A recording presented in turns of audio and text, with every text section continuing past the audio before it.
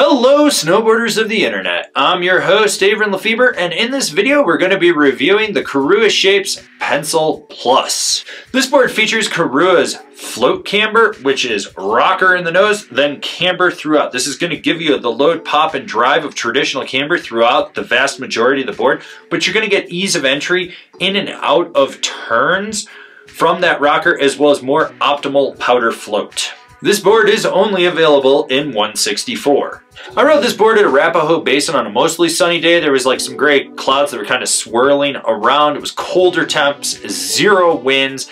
There was a little bit of snow on top of perfect corduroy, and then you could find some chop and chunder on the sides of the runs, and I rode it with my Rome Black Label bindings and my K2 Thraxis boots. So once again, we're on another plus line board, which means it's of the stiffer variety due to the carbon construction in it. This board has a fully directional flex, so you do get a softer nose that stiffens up right where the rocker meets the camber, and it progressively gets stiffer to the tail.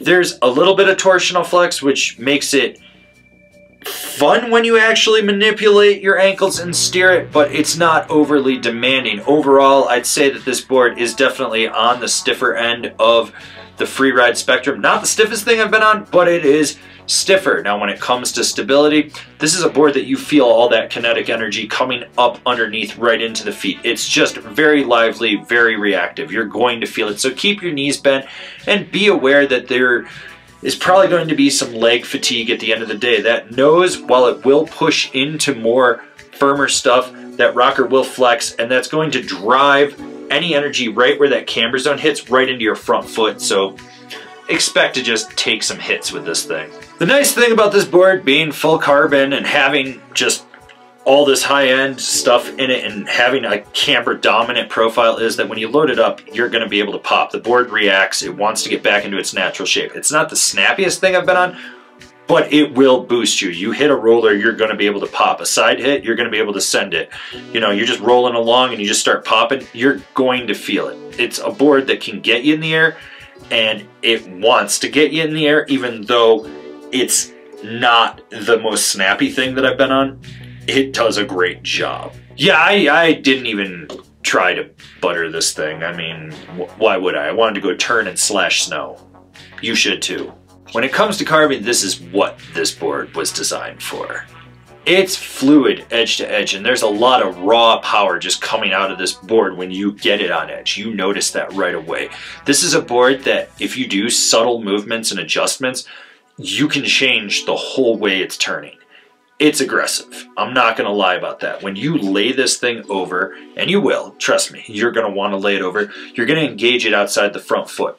And that's to drive it into the back. Now here's the thing. When you're pushing that back foot in, and you're just laying it over, if you really want to spring out of the carve and really disengage it but change the apex, you push it into the center. That's gonna flex that tail and it springs you right out. And then you find yourself back on that flat base and you can transition over from your toe to your heel edge. This is a board for just trenching and laying swoopy carves from one side of the trail to the other or getting up into some tight terrain where you're just weaving in and out of people, trees, obstacles, whatever, and keeping it on edge. This thing is super assertive. It's super aggressive. It's awesome on edge. This is my second favorite board right now from Korua, especially for just how it turns. Absolutely frigging phenomenal. I love the way that this thing rides on edge. I just found myself just laying it over as much as possible and not worrying about it. It stays on edge. It's smooth on edge. You do feel that liveliness, but it just tells you to put more power into the drive from the bindings to just get it to go through the carve. Who's this board for? The resort ripping carver that wants to see things differently. They're going to look at banks and berms and be like, I can turn on that. I can just carve across that and then slash, or I can lay it over through this crowd of people. As I said, this is my second favorite board from Korua right now. It just changes how you approach a mountain. I've ridden A-Basin hundreds, if not thousands of days. I have my set lines for when I'm testing boards. This made me leave that comfort zone and try different things, and I don't regret it at all. This thing was just phenomenal. The way it approaches things, how you can just drive into it and change that apex of the carve, it's amazing.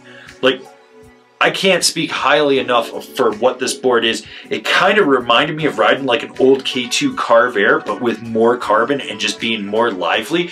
It was a board for trenching and just letting people know I can turn, you're in my way, but I'm gonna go around you. Comparable boards, the Amplid Pentaquark, the Nitro Pantera, the Bataleon Carver. Binding recommendations, the Rome Katana, the Salomon Alibi Pro, the Ride A9. This has been my review of the Korua Shapes Pencil Plus. Do you agree? Do you disagree? Do you own one? Are you gonna buy one? Leave me a comment down below. Let's have a conversation about this snowboard. If you're new here, Remember to subscribe, click the bell, get those notifications. That way you're not going to miss any of the videos we got coming out for all you snowboarders of the internet.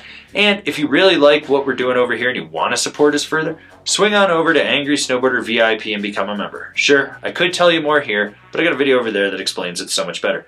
As always, I've been your host, Avran LeFeber, and I'll see you in another video.